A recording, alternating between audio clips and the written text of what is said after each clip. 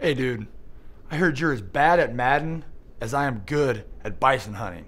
And let me just make one thing clear I'm really, really, really good at bison hunting.